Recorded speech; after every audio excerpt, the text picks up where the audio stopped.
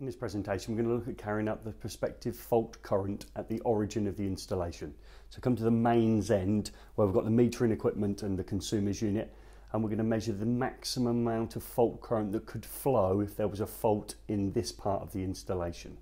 Earth fault loop impedances are carried out at the furthest point of radial circuits, the midpoint of ring final circuits to work out if there would be enough fault current at that position in order to operate an overcurrent protection device but this is to see if it can handle a fault current of its highest value. Therefore, the prospective fault current measurement will be done within the consumer's unit itself.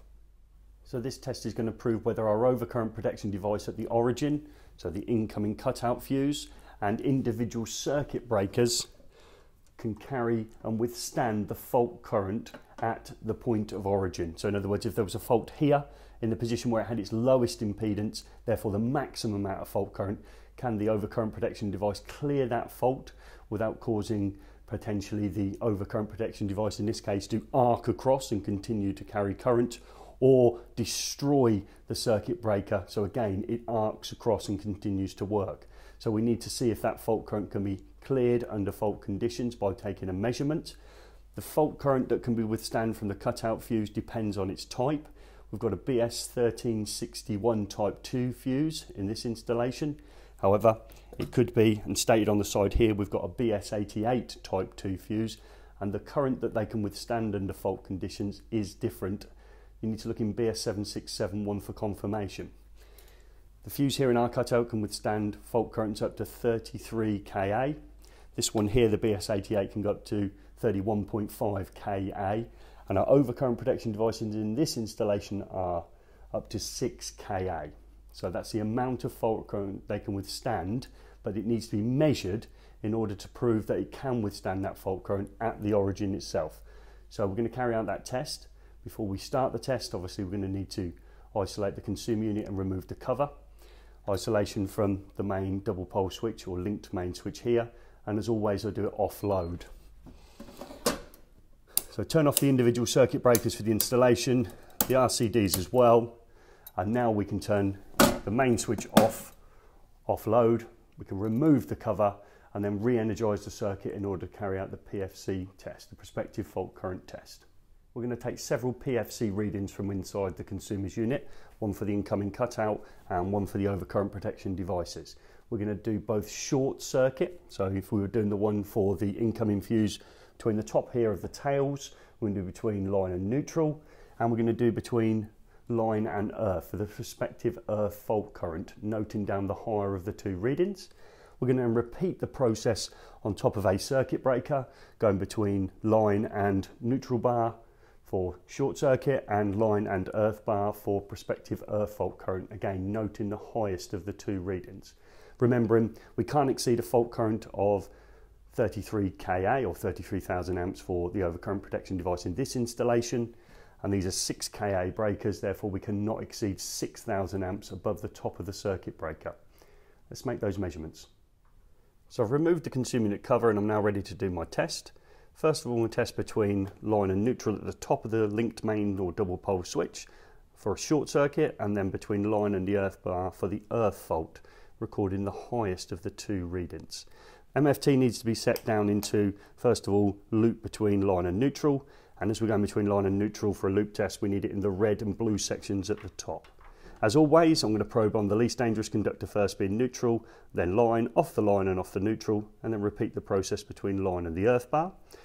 The consumer's unit can now be energised and I can probe on for the test. So neutral first, followed by line. I'm looking at the reading at the top of the machine being 312 amps. Off the line, and off the neutral. I now need to move my lead down one into the green section and move it up to do a, a test between line and protective earth. And again, I'm going to go on the least dangerous one first. Let's just change it back to two lead, two lead high. So we're going to go between line and earth bar, probing on the least dangerous first, being the earth bar, and then the line bar itself. Reading 424 amps. Take it off the line bar and off the earth bar. So we're going to record the highest of those two readings, which was a prospective earth fault current of 424 amps. Often it is higher between the um, line and earth because you'll have things such as the bonding conductors to extraneous conductive parts such as water, gas, oil and framework of the building. However, you do record the highest one whichever it is. In this case it was between line and the protective conductor. It also was considerably less than the maximum of 33,000 amps for the incoming fuse. So we're satisfied that part of the test.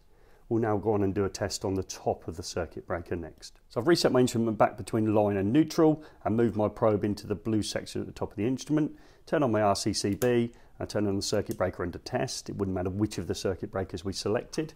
Probe on again the least dangerous first, being neutral, onto the top of the line.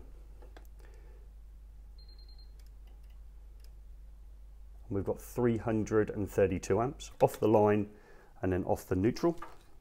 Set it round between now line and protective earth, move across my probe, but this time I'm going to need to be in the low setting because I have got my RCCB in circuit. So again, earth connection first, followed by the top of the line.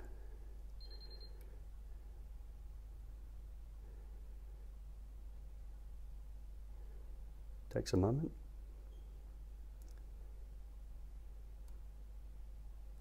we've got 311.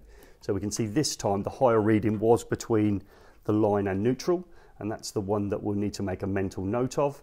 These overcurrent protection devices have a 6,000 amp breaking capacity, and we're nowhere near even 400 amps with our tests, so obviously they're acceptable. We will talk about the serviceable rating of the devices as we move through the classroom. So we've managed to carry out the prospective fault current at the top of the switch, and the switch to the earth connection, top of the breaker between neutral and earth, in order to prove that both can handle the current under fault conditions. In this case, we're making sure the, the incoming supply fuse can handle anything up to 33,000 amps, we would considerably less, and the circuit breakers themselves can handle anything up to 6,000 amps, and again, we were considerably less. So we've carried out the prospective fault current at the origin of the installation,